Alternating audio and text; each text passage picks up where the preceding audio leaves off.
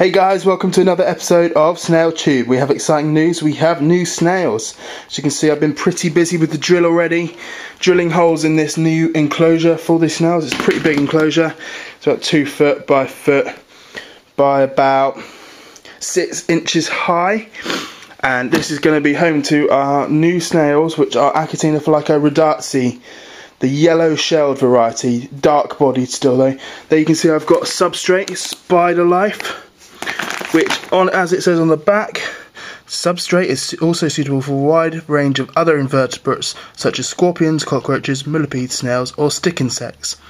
So what I'm going to do is I'm going to go ahead I'm going to put a generous layer of substrate in this enclosure. I'm hoping these guys are going to breed at some point so we'll have lots of little baby snails for you guys. There we go, the substrate is now in the tank. We're going to give it a little spray with a spray bottle just nicely moisten all of that up so they've got quite a damp and humid environment. Remember Achatina fulica don't like it as wet as some other snails, um, maybe like uh, Achatina marginata, they, they like it quite wet. Um, these guys, they like it damp, but it shouldn't be sopping, there shouldn't be puddles in the tank. They definitely don't like that. Right, let's do some decorating. Here I've got a plant pot, as you can see here. I've created a deep side and a shallow side of the tank. Hopefully they'll lay eggs and sort of burrow in this part and this part is where I'll feed them. And hopefully that means that when eggs are laid they'll only be contained in a deeper area. So let's go ahead and bury this plant pot in the substrate. I'll put some substrate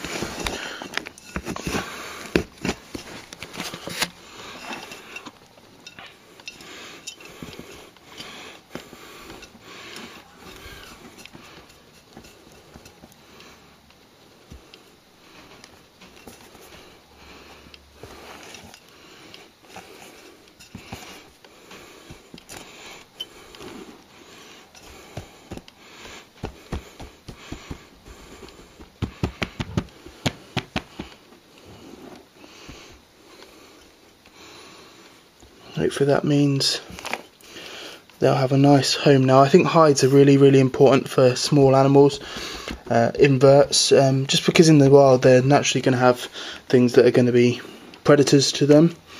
So it, it, it, just even in habitats where there's no predators, sometimes they just like a nice place to hide where they can feel safe, can get away from the world and can relax. I've got some fake plants, just gonna dot around to give it a bit of a natural feel and natural look.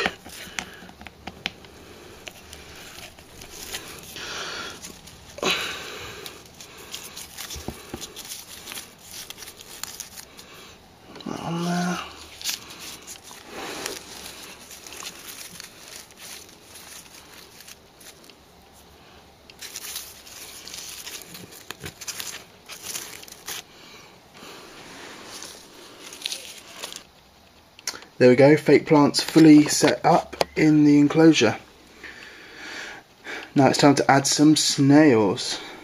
Okay, I'm going to go over here, grab these guys. These guys are significantly larger than my other snails that I have, so I'm just going to go and place the camera down while I just open the pot. There's some nice sphagnum moss in here, which I, which I will chuck inside their um, hide there. Never, yeah, I've watched all these videos on YouTube and I never realised how hard it actually is to film and do stuff with one hand. You see quite a lot of the spider guys dealing with very fast tarantulas whilst filming and doing so successfully. I'm struggling here with some snails. Hey guys, so basically I was in the middle of shooting the this video and my camera cut out and I've been busy the last couple of days so I finally got around to finishing off this video introducing the new snails and here they are in their new setup. She says one on the roof there and one in the hide. Let me just go ahead and open up their enclosure Here is our new snail Delilah. We've gone for the biblical theme, Samson and Delilah. Delilah is quite a bit smaller than Samson. Sort of see the size comparison to my hand. Got a medium sized snail, still got quite a lot of growing to do. Samson is pretty big. See, he's probably double the size of her. Well, I say him and her. Snails are hermaphrodites. They've got both parts, so they're not actually gendered. You can see he's pretty big and he's hiding in his flower pot. These guys love this flower pot. Delilah had a burrow underneath the soil. I think it's still there actually.